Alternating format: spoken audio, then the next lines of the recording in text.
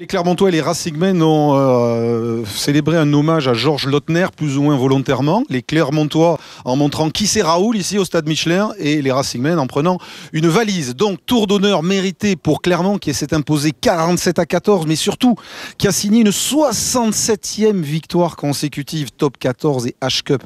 Plus de 4 ans d'invincibilité ici au stade Marcel Michelin. C'est impressionnant. Les Clermontois, on vous l'a dit, ont marqué donc 6 essais. On va vous montrer les plus beaux on va vous donner quelques réactions aussi. Les plus beaux essais sont arrivés par Benoît Cabello, notamment le talonneur en position déliée. Les Clermontois sont rentrés très vite dans ce match, absolument déchaîné, intouchable, irrésistible. Regardez comment Cabello, en l'absence de Kaiser, plante cet essai en coin. Ils sont même allés jusqu'à mener 40 à 0 alors qu'ils avaient été, accrochés ici même par Brive il y a une quinzaine de jours. L'essai de Regan King, ensuite en deuxième période sur une percée de l'inévitable Sivivatou, c'est Jean Marcelin Butin qui va aller inscrire un essai assurant déjà le bonus au Clermontois et parmi ces essais, un inscrit par le revenant Julien Malzieux, souvent blessé, beaucoup de pépins physiques. Il faisait son retour aujourd'hui et il a marqué six mois après son dernier essai. Du coup, au micro de Philippe Fleiss, il était particulièrement radieux.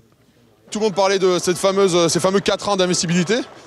Euh, et, je pense qu'aujourd'hui, on avait un peu peur de, le perdre. Et euh, ça a regonflé tout le monde, tout le monde s'est remobilisé. Et voilà, aujourd'hui, ça fait 47-14.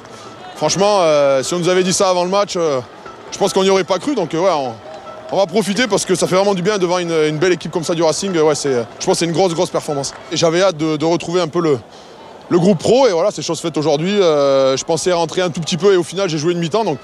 C'est génial, franchement. Euh, voilà, euh, c'est difficile, mais ça fait plaisir de, de retrouver le rythme.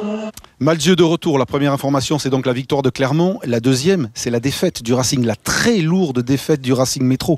47 à 14, l'abattement lors du retour au vestiaire de la part des joueurs du Racing, comme ici euh, Camille Gérondeau, comme à Toulon, comme à Toulouse. Le Racing est un prétendant au titre, à charger face à l'une des grosses écuries du championnat. Un résultat euh, qui n'est pas du tout, évidemment, euh, dans la ligne de mire des nouveaux entraîneurs, Travers et Labitte. On attend le Racing en haut du classement le Racing était 9e avant ce match ici à Clermont. Du coup, écoutez, toujours au micro de Philippe Fleiss, les réactions euh, euh, tristes et abattues à la fois du capitaine Henri Chavancy, mais aussi du président Jackie Lorenzetti. Euh, c'est un, petit coup de massue, je vous avoue qu'on est un petit peu sonné, on n'a pas trop compris ce qui nous est arrivé. Je pense pas que ce soit un manque d'envie, je crois que c'est... Voilà, on a été dépassé par cette équipe de, Clermont-Ferrand. voilà, c'est très, très décevant. Presque un sentiment de, de honte, surtout de, faire cette prestation avec, euh, avec le maillot ciel et blanc euh, sur les épaules, ça, fait mal.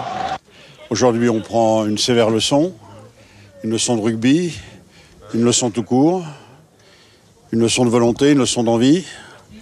Euh, c'est une humiliation, il ne faut pas avoir peur des mots. Donc certains aujourd'hui n'ont pas été à la hauteur de leur maillot, n'ont pas été à la hauteur de leur réputation, n'ont pas été à la hauteur tout simplement du statut de joueur de rugby on est en totale solidarité avec les coachs et les préparateurs physiques et tout, le staff. Et il faut que des choses changent dans le comportement. Merci.